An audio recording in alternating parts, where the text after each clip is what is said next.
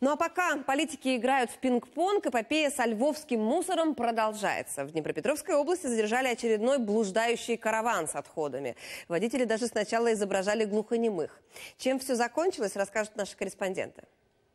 11 фур, припаркованных возле АЗС, вызвали подозрения у местных жителей. Они позвонили в полицию. Правоохранители установили. Машины, груженные мусором, едут из Львова. Так называемых техпаспортов на отходы, где должно быть указано БТВ или строительные, водители предъявить не смогли.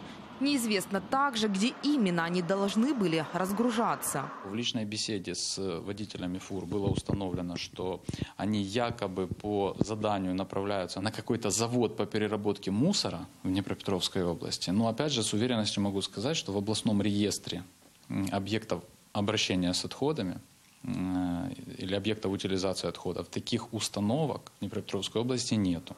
В сопровождении патрульной полиции грузовики уехали обратно во Львов. Но не все. Три машины с мусором так и остались на заправке. Водители уезжать категорически отказались. Сотрудники ЗС говорят, из машин они практически не выходят, не захотели общаться и с нами. Лица прячут за занавесками.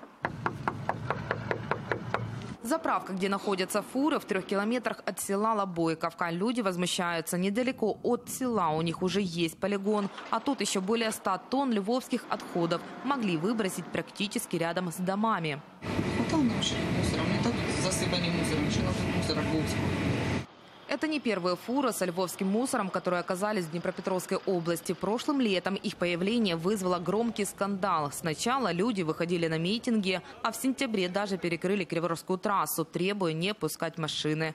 Грузовики появляются в разных областях с завидным постоянством. На прошлой неделе в Запорожской области фуры сбросили почти 100 тонн отходов. Из-за оттепели и непроходной грязи его до сих пор не могут убрать. Чиновники посчитали, утилизация обойдется не меньше, чем в 30 тысяч гривен. Почти за год с момента пожара на Гребовицкой свалке на карте Украины осталось совсем немного регионов, куда еще не добрался львовский мусор. Елена Менделюк, Евгений Кодинцов. Подробности телеканал Интер, Днепропетровская область.